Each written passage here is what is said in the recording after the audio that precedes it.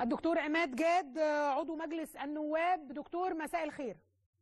نور أستاذ لميس آه، هذا الحكم سياسيا يعني نحن أمام حكم مهم جدا. آه، هذا الحكم ماذا يعني سياسيا بالنسبة لمصر؟ ماذا يعني بالنسبة لمجلس النواب؟ يعني إيه بالنسبة للعلاقات مع السعودية؟ يعني آه، سياسيا أن من اتخذ قرار التوقيع على اتفاقية ترسيم الحدود مع المملكة العربية السعودية بالشكل ال- الذي تمت به لا شرعية له وأن الاتفاقية وكأنها لم تكن. فيه إحراج شديد للنظام فيه إحراج شديد للحكومة. آم، ينبغي ألا تكابر الحكومة أكثر من ذلك وألا تدخل في مسار ضرب المؤسسات الدولة ببعضها ببعض. لأن هناك حديث من قبل البعض على اللجوء للمحكمة الدستورية مم. آه، مثل هذه الأمور اتصور أنها ستحدث آه، فتنة بين مؤسسات الدولة ثم بعد ذلك اللجوء إلى مجلس النواب. أتصور آم، أن الحكومة آه، عليها أن تكتفي بما جرى وأنها حاولت واجتهدت لكنها أخطأت وتم تصحيح الخطأ وكفاهم شقا للصف المصري. و- فمن الناحية السياسية آه، أن الحكومة ينبغي أن تتلقف هذا الحكم باعتباره يعني نهاية جهدها المشكور في هذا الأمر.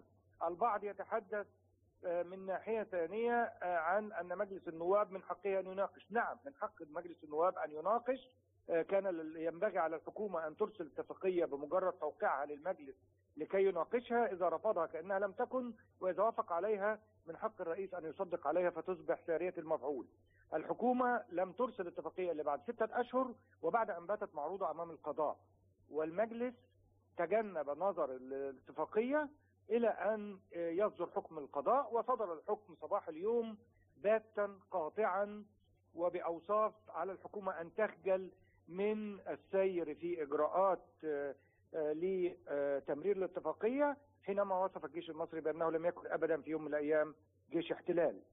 آه، البعض يقول أن ال- طبعا بدأت بعض التراشقات على مواقع التواصل الاجتماعي من جانب بعض الشخصيات المصرية والسعودية لكن البعض يتحدث عن أن- أنه يمكن اللجوء للتحكيم الدولي. أستاذ لميس التحكيم يكون بموافقة الطرفين بإرادة الطرفين يعني لو المملكة العربية السعودية عايزة تروح تحكيم ومصر قالت لا مش هروح تحكيم ليس من حق محكمة العدل الدولية أن تنظر آه يعني دي نقطة هذه- مهمة جدا يا دكتور. اذا التحكيم الدولي باتفاق الطرفين. طبعا. طرف- الطرفين. وده اللي طبعاً. حصل آه، في طابة. زي اللي حصل في طابة وزي اللي حصل بين قطر والبحرين وزي اللي بيحصل لا يمكن الذهاب إلى محكمة دولية رغما عن إرادة طرف من الطرفين. مم. موضوع منتهي ولا أحد يستطيع أن يناقش فيه دي مسألة قانونية.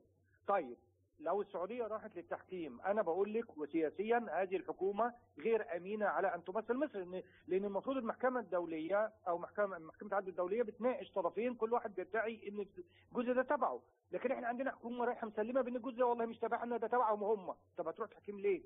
يبقى اذا لو أرادت المملكة العربية السعودية أن تذهب إلى التحكيم ف آه، أنا رأيي إن مصر توافق لكن آه، مع الحجر على الحكومة الحالية واختيار لجنة من كبار رجال القانون الدولي والتاريخ والجغرافيا ومن مؤسسات الدولة المصرية للدفاع عن مصرية تيران طيب قلت في بداية كلامك إنه آه، من وقع على هذه الاتفاقية لا شرعية له. أنت بتتكلم هنا على الحكومة. الحكومة آه. رئيس الوزارة هو من وقع على هذه الاتفاقية. بصراحة آه، وده سؤال سياسي أيضا. من يتحمل المسؤولية السياسية لهذا الوضع الغريب اللي إحنا فيه دلوقتي؟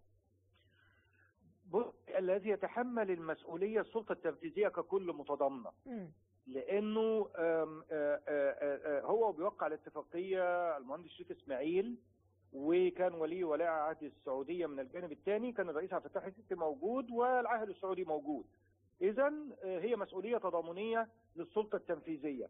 لكن اللي أنا عايز أقوله إنه الذي وقع هو رئيس الوزراء عليه أن يكف عن جهوده ل- ل- ل- لإثبات عدم مصريه تيران وصنافير يعني هذا موظف عام موظف عند الشعب. المنصب العام هو آه، منصب تكليف ومن يحسن ويجيد يجدد الثقة الشعب بس- فيه. ومن لا يحسن تسحب منه الثقة؟ ب- بس التفويض. ب- يعني يعني. في العالم كله عندما آه، بيحصل حاجة زي كده بيستقيل رئيس الوزراء. لكن حضرتك عارف إنه في هذا الأمر القضية لم تكن رئيس الوزراء. كانت كل الدولة مجتمعة آه، آه، مقتنعة بهذا الأمر من وزير الخارجية لكل الأجهزة. كلهم كانوا يعني كان هذا هو الاتجاه.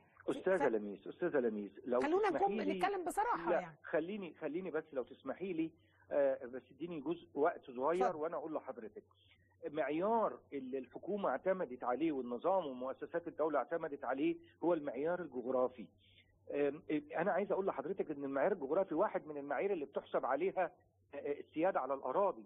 يعني في معيار ال- الاستخدام التواجد ال- الحيازة الهادئة السيادة ممارسة الأنشطة والأعمال. يعني عايز أقول لحضرتك لو حضرتك تحطي الخريطة قدامك بتاعة اليونان وتركيا وبحر إيجا ما. بينهم. بحر إيجا فيه حوالي أكتر من 2000 جزيرة. أقرب أبعد جزيرة عن الأراضي اليونانية اسمها خيوس وأنا رحتها تبعد 2 كيلو عن الشاطئ التركي وهي جزر يونانية. مم. التحكيم الدولي ما بين آه، قطر والبحرين. إدى جزيرة في حضن قطر للبحرين. يعني الموضوع مش جغرافي مش مش مقاسات صماء. ال ال وفي هناك أوراق وفي حوار للملك السعودية مع الواشنطن بوست من ست شهور. قايل فيه وأنا شفت هذا الحوار قايل فيه أن تيران وصنافير لا تتبعنا وإنما أهدتهما مصر آه، يعني كعرفان جميل على المساعدات طيب. الاقتصادية. ممكن نديهم تسهيلات نديهم حاجة لأن جزء من أراضي لا توجد ورقة واحدة لدى المملكة العربية السعودية تقول إن تيران وصنافير بتاعتهم. أنا ما عنديش مشكلة أنا مش انازع مؤسسات البلد بس بقوم فاقدين للمصداقية في عين الشارع والرأي العام وده خطر على استقرار البلد كلها. لو هي هيواصلوا الأمر دوت قد تنتقل المسألة من رئيس الوزراء لرئيس الدولة. اذا تتوا... يعني آه، آه، يبقى يعني ربما تطالب رئيس الوزراء بالاستقالة ولا إيه؟ شوفي أصل الاستقالة دي إحساس. يعني الرجل فشل سياسيا. الرجل وقع على اتفاقية القضاء قال له أنت بتتنازل عن جزء من أراضي الدولة دي أراضينا وتحت سيادتنا. اذا يفترض أن يتقدم من تلقاء نفسه بالاستقالة ويقول فشلت يا اخوانا فشلت واعفوني من هذا الأمر. هو راجل بتاع بترول ملوش علاقة بالسياسة. هل هل انما تقولي لي تقولي لي مؤسسات الدولة يا أستاذة لميس؟ آه، طب ما في إعلاميين وفيهم أعضاء آه، برلمان قال لك لو ثبت ال- مصرية تيران وصنافير س- آه، آه، ثبت مصريتهم هتستقيل من البرلمان. إحنا في أي زمن؟ وإيه الكلام اللي بيتقال ده؟ هل والله العظيم دي خيانة عظمى. هل هذا الحكم يعني يعني مش عايزين بس ندخل في قصة الخيانة والتخوين ولكن لا لا لما أقول أنا أنا أنا عمري ما شفت أنا راجل بشتغل في المجال دوت من أكتر من 25 سنة. أنا ما بلقيش اتهامات جزافا يا أستاذ لميس أنا بشتغل في المجال دوت أنا عمري في حياتي ودرست علاقات دولية ما شفت حكومة في الدنيا تجتهد لإثبات إن جزء من أراضيها ليست أراضيها ويتبعها جزء من الإعلاميين وجزء من البرلمانيين. مش ممكن يا إخوانا. يعني مش مو... أنا ما شفتش المشهد ده خالص. ده سجل في التاريخ على إنه حاجة نادرة وفريدة. الحكومة بتقول والله العظيم مش بتاعتنا والشعب بيقول لهم بتاعتنا والقضاء يقول لهم بتاعتنا. هل آه، هذا الحكم سيزيد من الشقاق بين مصر والسعودية؟ المفترض ألا يزيد من الشقاق. المفترض إنه الناس تقعد وتتناقش وتتفاهم والمناطق يمكن آه، استثمارها. يعني أنا هقول لحضرتك على واقعة بسيطة. ألمانيا وفرنسا بينهم منطقة الإلزاس واللورين وحصلت حروب وكانت آه، ألمانيا تحتلهم فرنسا تحتل جزء تابع لدوت وكذا. لما جم يعملوا حلول عملوا آه، المنطقة ديت غنية بالفحم والصلب. فأول اتفاقية آه، للتعاون بين الدول الأوروبية كانت اتفاقية الفحم والصلب سنه 52 هذه الاتفاقية بنيت على آه، استثمار الفحم والصلب اللي موجود في منطقة الأزاز واللورين فبقى تعاون فرنسي ألماني. مم. فيمكن تحويل هذه المناطق لمناطق تعاون.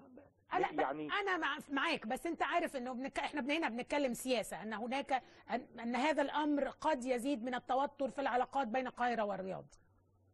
آه طبعا. لا بالنسبة للواقع اللي حضرتك بتتكلمي عليها آه طبعا ستؤدي لمزيد من التدهور والتوتر.